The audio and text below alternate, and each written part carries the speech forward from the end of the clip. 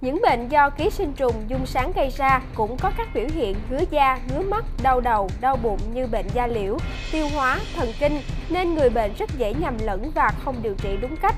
Nếu bệnh không được phát hiện và điều trị kịp thời, khi ấu trùng di chuyển lên não, bệnh nhân sẽ có biểu hiện giống như bệnh động kinh, tâm thần và có thể tử vong. Với mong muốn giúp người bệnh có điểm đến an tâm, tin cậy, tháng 5 năm 2014, phòng khám Ánh Nga được Sở Y tế cấp phép hoạt động. Đây là phòng khám chuyên khoa về ký sinh trùng dung sáng đầu tiên tại Việt Nam.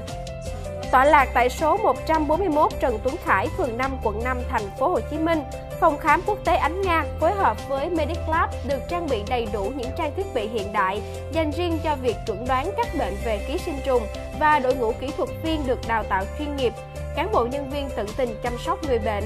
Các bệnh nhân đến đây đều do hai bác sĩ Nguyễn Ngọc Ánh và Đặng Thị Nga từng làm việc tại Viện Ký sinh trùng Trung ương trực tiếp khám và chữa trị.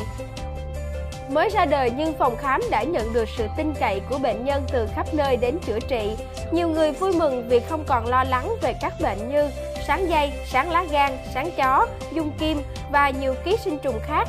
Đặc biệt, với quy trình điều trị nhanh chóng và hiệu quả, người mắc bệnh sáng dây có thể khỏi hoàn toàn sau một ngày điều trị tại phòng khám quốc tế Ánh Nga. Tôi lên mạng tìm hiểu thông tin và thấy được phòng khám Ánh Nga. À, tôi đến đây đã khám một lần và sau thời gian thì tôi thấy là bệnh của mình nó cũng thuyên giảm hơn. Cho nên bây giờ tôi quay lại đây để tới khám.